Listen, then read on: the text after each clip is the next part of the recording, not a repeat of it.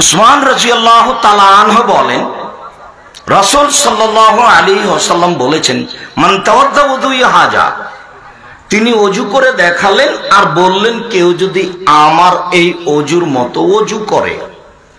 অসল্লা রাকাতাইন তারপরে দুই রেখাত সলাত আদায় করে। লাম ফি হবে আর কোনো কিছু নিয়ে মনে মনে কথা না বলে। আল্লাহ আকবার বলার সাথে সাথে শয়তান খালি বলবে উস্কুর কাদা উস্কুর কাদা, এটা স্মরণ করো, ওইটা স্মরণ করো। কোথায় বউ, কোথায় বেটি, কোথায় বান্ধবী, কোথায় দোকান পাট যেটা আপনার মনে ছিল না দশ বছরের মধ্যে, সেটাকে মনে করাবে তাই রাসুল সাল্লাহ সাল্লাম বলছেন দূরে কাজ সলাত আদায় করল, মনে মনে কথা বলল না। কোন বিষয়ে কথা বলল না। ওয়াজাবাতলাহুল জান্নাত, তার জন্য জান্নাত জরুরি। যাবেই। হাদিস বুখারি, মুসলিম। ওবাবিনা আমের রাজিয়াল্লাহ বলেন, রাসুল সাল্লাহ আলী ওসাল্লাম বলেছেন মামিন মুসলিমিন যে কোনো মুসলিম পুরুষ নারী যে কোনো মুসলিম পুরুষ নারী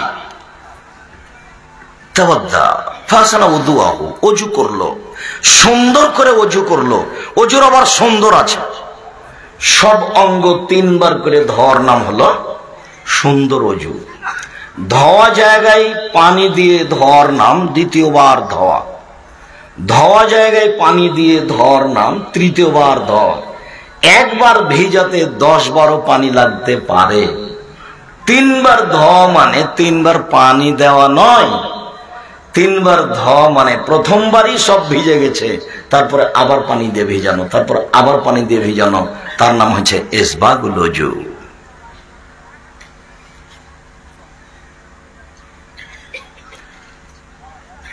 সুন্দর করে অজু করল। অসল্লা রাখা তাই আদায় করল। মুখ মনে প্রাণে ভয় ভীতি নিয়ে। আল্লাহকে সন্তুষ্ট করার আশায় মনে প্রাণে ভয় ভীতি নিয়ে। তাহলে অতীতের সব পাপ ক্ষমা। হাদিস তো বোখারি মুসলিম। সুন্দর করে অজুর কথা বলতে গিয়ে একটা হাদিস মাথায় বারবার ধাক্কা খাচ্ছিল। ওইটা একটু বলি। আব্দুল আব্বাস রাজিয়াল্লাহু তাআলা আনহু বলেন, রাসূল সাল্লাল্লাহু আলী ওয়াসাল্লাম বললেন, আল্লাহ তালা বলেন মানে হাদিসে কুদসি, আল্লাহ তালা বলেন, হাল তাদরি ইয়া মোহাম্মদ মুহাম্মদ, আপনি কি বলতে পারেন? উপরে কি নিয়ে হইচই হচ্ছে? মোহাম্মদ, আপনি কি বলতে পারেন? উপরে কি নিয়ে হইচই হচ্ছে? আল্লাহ না।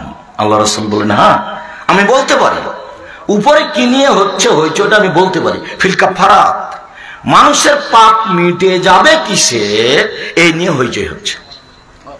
কি করলে মানুষের পাপ মিটে যাবে?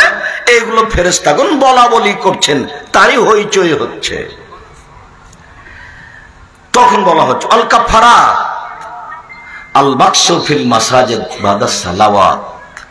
এক, সলাতের পরে মসজিদে বসে বসে তাসবি তাহালিল করা। আপনাকে আমি দেখেছি, আর একবারে জুমার দিন সালাম ফিরার সাথে সাথে লাভ দিয়ে উঠেছেন কতদিন আপনাকে ঠেকালাম, আর আপনি বললেন যে আপনারা এসে আমাকে ধমকালেন। আপনাকে আমি ধমকাইনি আপনি ওইভাবে উঠেন কেন? ওটি কি? আপনি এসেছি, আমি এখানে কথা বলছি, আপনি দোকানপাটে কথা বলছেন কেন?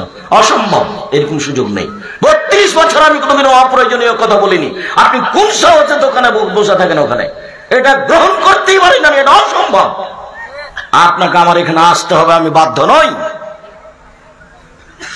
কোনদিন এই দীর্ঘ বত্রিশ বছরে কোনদিন কোন সভাপতি, কোন সেক্রেটারি, কোন ব্যক্তি কোন জজ, কোন ব্যারিস্টার, কোন মন্ত্রী, কোন সভাপতিকে হিসাব করে আমাকে কথা বলা লাগেনি এরকম সুযোগ, এরকম পজিশন আল্লাহ আমার কাছে নিয়ে আসেননি কোনোদিন। কোনোদিন আমাকে পিছিয়ে হটা লাগে না। কোন কাজ আমার পরিকল্পনা নিয়ে নেই, এমনিতে অটোমেটিক হয়। আপনি যান, জামিয়া সালাফে রূপগঞ্জ, নারায়ণগঞ্জ দেখে আসেন, একান্ন বিঘা জমির ওপরে আপনি ভাবতে পারবেন না এটা হয় কি করে, আমিও ভাবতে পারি না। যেখানে দুইশো শতক জমির উপরে মসজিদ নির্মাণ হতে যাচ্ছে, খালি মসজিদের জন্য দুইশো শতক জমি। কোন হিসাবে এমনিতেই যান আপনি রাজশাহী, ছাব্বিশ বিঘা জমির উপরে প্রতিষ্ঠান। একদিক থেকে আর দিক দেখলে কেমন কেমন লাগে। ও যে প্রাচীর দেখা যাচ্ছে। নব্বই শতাংশ জমির উপরে মসজিদ তিন তালার কাজ শেষ হচ্ছে। যারা একতলাতে তিন হাজার মানুষ একসাথে সলাত আদায় করতে পারে। যান আপনি তেঘরা, বিরল, দিনাজপুর, আঠারো বিঘা জমির উপরে প্রতিষ্ঠান, যার দুইতলা হচ্ছে। কীভাবে আমি নিজেও জানি না। আপনাকে আমি এই বিষয়ে দোয়া করতে বলেছি। দান পরে। আপনি এলাকার মানুষ খিলনা কি যেন বলছে, আপনি দান করলেও জামিয়া সালিঘা চলবে, না করলেও চলবে। মাসে বত্রিশ লক্ষ টাকা লাগে, বলুন তো আপনি টাকা দিয়েছেন? বত্রিশ লক্ষ মাসে বেতন। বিদেশি শিক্ষক যারা, বিদেশি শিক্ষক আছেন জামিয়া সালাফিয়াই, যার পিছনে বেতন সহ, থাকা খাওয়া সহ, বাবরচি সহ প্রায় আশি হাজার করে খরচ আছে। ওদের দশ জন শিক্ষকের থাকা খাওয়া ভিন্ন। ওরা অন্যান্য শিক্ষকের সাথে খায় না, থাকে না। ওদের বাবুর্চি ভিন্ন, ওদের খানাই ভিন্ন। আমার মনে বড় সাত আমি এই দেশের মাটিতে উন্নত মানের প্রতিষ্ঠান গর্বই গর্ব ইনশাল্লাহ যেখানে ছেলে মেয়ে বাংলা, ইংরেজি, আরবি উন্নত মানের শিক্ষা অর্জন করে জাতির অন্যায়ের বিরুদ্ধে লড়বে মুখ, কলমে মিডিয়াই ইনশাল্লাহ আমি এই কাজে বাস্তবায়ন হবই, হব ইনশাল্লাহ সম্মানিত দিনী ভাই বোন রাসুল সাল্লাহ আলাইসাল্লাম বলছেন, আল্লাহ তালা বলেন, বলতে পারেন আপনি, উপরে কি নিয়ে হইচই হচ্ছে? জি, বলতে পারি। মানুষের পাপ মিটে যাবে, কি নিয়ে তা নিয়ে হইচই হচ্ছে। মানুষের পাপ মিটে যাবে সলাত আদায় করার পরে মসজিদে বসে বসে জিকির আজকার করলে, সালাম ফিরার পর পরে আপনি লাভ দিয়ে ওঠেন এই তো আপনার স্বভাব। এত তাড়াহুড়া কেন? এখন কেন আপনি দোকানে বসে চা খাচ্ছেন? এটা কি?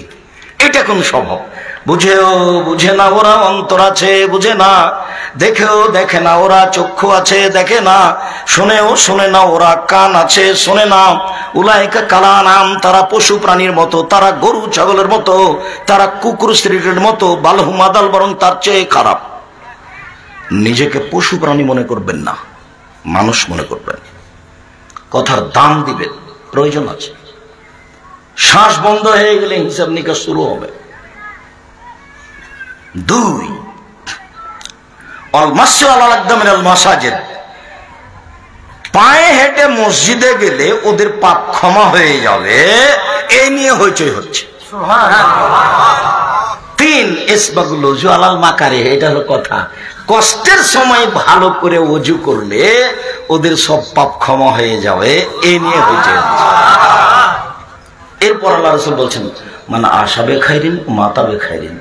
এই যদি করে, বেঁচে থাকা ভালো, মরে যাওয়া ভালো। এই যদি করে, বেঁচে থাকা ভালো, মরে যাওয়া ভালো। এই যদি করে, বেঁচে থাকা ভালো, মরে যাওয়া ভালো।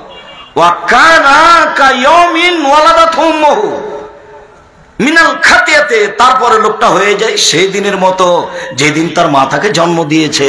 তারপর লোকটা হয়ে যায় সেই দিনের মতো, যেদিন তার মাতাকে জন্ম দিয়েছে। তারপর লোকটা হয়ে যায় সেই দিনের মতো, যেদিন তার মাতাকে জন্ম দিয়েছে। নিষ্পাপ হয়ে যায়। কি করলে? এক, মসজিদে বসে সলাতের পরে তাসবি তাহলিল করলে। মনে থাকবে না মনে হয়? দুই, পায়ে হেঁটে মসজিদ গেলে। ইনশাআল্লাহ। তিন সুন্দর করে উজু করবে। ভালো কষ্টের সময় সুন্দর করে, লালাল মাকারে বলা আছে। কষ্টের সময় সুন্দর করে উজু করলে কষ্ট কি? শীতের দিন। বারাকাল্লাহ, জাজাকুমুল্লাহ খায় অনেকখানি বুঝেছেন।